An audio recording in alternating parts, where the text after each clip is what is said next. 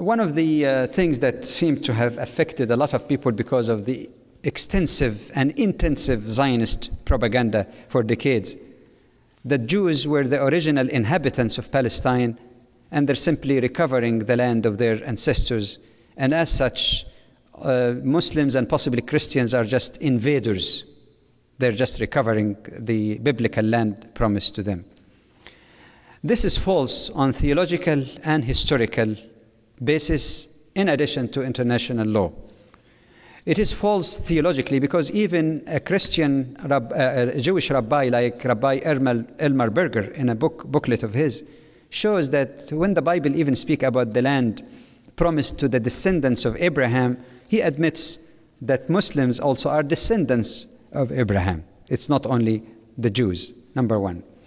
it is unsound historically because when the Israelites, as the Quran describes, went after persecution in Egypt led by Moses, they did not enter a land that was empty.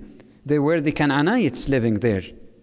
When Christianity came, some of these same Canaanites became Christians. When Islam came, some of the descendants of those Canaanites became Muslims. There was no invasion as such. In other words, they're not an, an implanted body. They are people who existed there and lived before Jews set foot in Palestine. And they happen to be now Muslims or Christians. So historically, it is not sound. Again, in terms of international law, you get a situation where terrorism, real terrorism, that was the initial introduction of terrorism in the Middle East. When Palestinians were terrorized and massacred, and there are numerous massacres, the famous Deir Yassin, when uh, Begin, the former prime minister of Israel, was a party to that, entering a village, a Muslim village, gathering at dawn time, very early morning.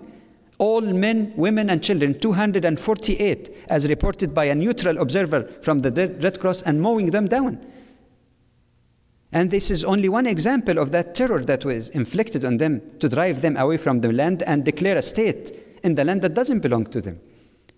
So, on all uh, perspectives, a great deal of injustice has been done to the Palestinian people, and the so called peace process or peace agreement did not really provide the full rights or even close to reasonable rights to the Palestinians. It excluded those who were driven away in 1948, in 1956, in 1967, and these are the bulk of Palestinians. By what right would somebody who was born in Russia as a Jew all his life have greater claim in the land that belongs to a Palestinian who is driven away, and now the peace process, so called, does not allow him to return to the land of his ancestors or to recover his property? What kind of justice and what kind of international law? And why should international law be inter interpreted and applied in such unfair and partial way?